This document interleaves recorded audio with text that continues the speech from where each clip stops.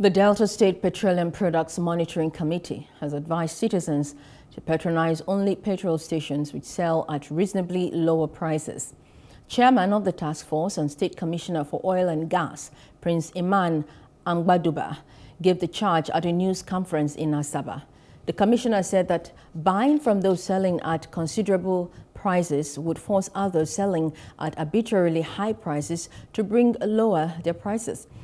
Our correspondent Akbemejoro Friday reports that Amgbaduba said government was concerned about scarcity of fuel and other issues affecting livelihood of the people across the state.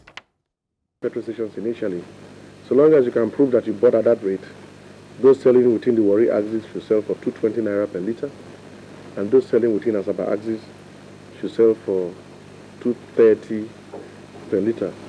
It is our very hope, our hope that uh, as time goes on, the prices will crumble with the availability of petrol, the apology of NNPC and the promise of NNPC that they will bring in more petrol. I'm sure that the price will come down.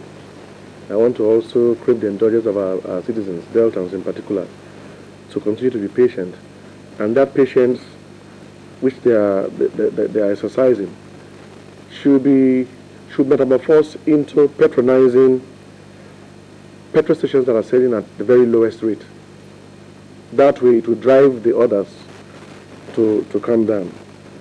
We're still, we're still very, very, very, very mindful of the hardship we're going through, but we're sure that in no distance time, the price will come down. Hello. Hope you enjoyed the news. Please do subscribe to our YouTube channel and don't forget to hit the notification button so you get notified about fresh news updates.